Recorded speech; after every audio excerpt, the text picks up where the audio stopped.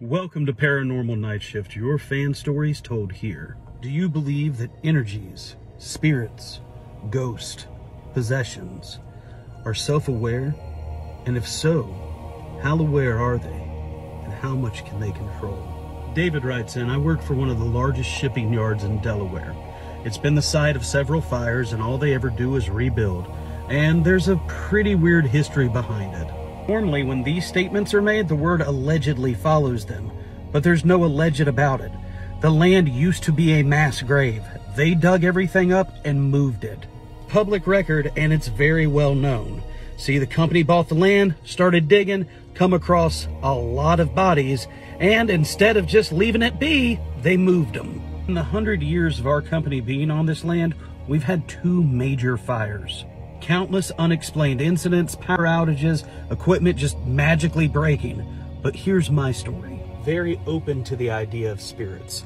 And I try to be respectful of the things that I know the company did because, well, I wasn't the one who did them. But when weird and spooky stuff happens, I tend to talk to the spirits. My coworkers think I'm absolutely crazy, but I know that you don't meddle with things that you shouldn't meddle with. And for as silly as it sounds, I hope that respect goes a long way. We finally built two separate buildings, and there's a long shipyard in between the buildings.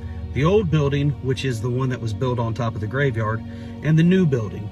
It's about a hundred yards. Nobody likes to walk it, especially at night. A couple years back, the company decided to be more energy efficient, so all the lights outside on the loading dock are now motion activated. So when you go out there at 3 o'clock in the morning, you kind of have like a long hallway of lights that come on as you're walking. They're very sensitive. It actually takes a couple minutes for them to actually kick on. That's why nobody likes going that way. I'm walking and the lights are slowly coming on, and then I notice that in the opposite direction, lights are coming on too. I call out, hey, who's there?